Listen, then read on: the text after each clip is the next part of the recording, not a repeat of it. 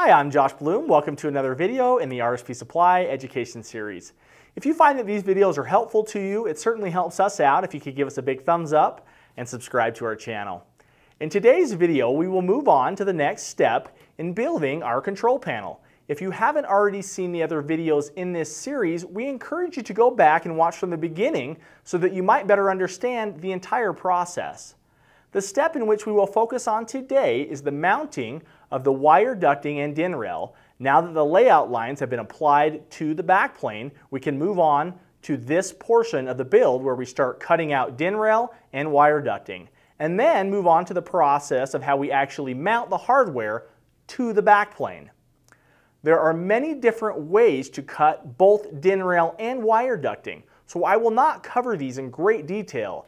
Just know that for the purposes of this video, we used a metal cutting bandsaw to cut the DIN rail and used a handsaw to cut the wire ducting. There are several different kinds of tools that can be used to cut both DIN rail and wire ducting very quickly and easily if you want to invest the money. When cutting this material, pay close attention to your drawings to ensure that everything is being cut to the right dimensions. If you make the wrong cut here, you run the risk of wasting that material, which can be costly. Once all the material has been cut, it's time to do a dry layout on the backplane to make sure everything will fit as intended. This dry layout is a process that gets commonly ignored among many panel builders, but is critical to making sure that everything fits the right way the first time. This step has personally saved me so many headaches and much time, so I highly recommend you take the time to lay out your parts.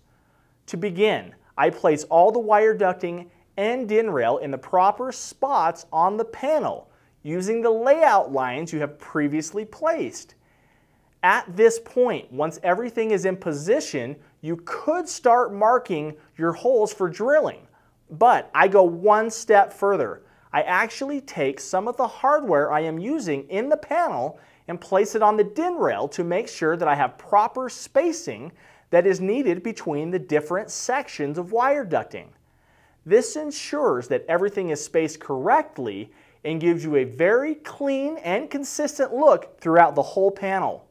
Once the layout is complete, you can now move on to marking where the holes need to be drilled. To perform this step, typically you will use the holes located in the DIN rail and wire ducting to mark where your mounting holes will be located on the panel. Take your time during this step to ensure that you do not move or bump any of the hardware out of alignment. Once the hole locations have been marked, you can remove the hardware from the panel to begin the drilling process. While removing the hardware, Remember where each piece goes and its specific orientation.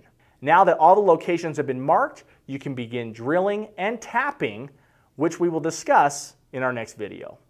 For a full line of industrial control panel hardware and thousands of other products, please go to our website. For more information or other educational videos, go to rspsupply.com, the internet's top source for industrial hardware. Also, don't forget, like and subscribe.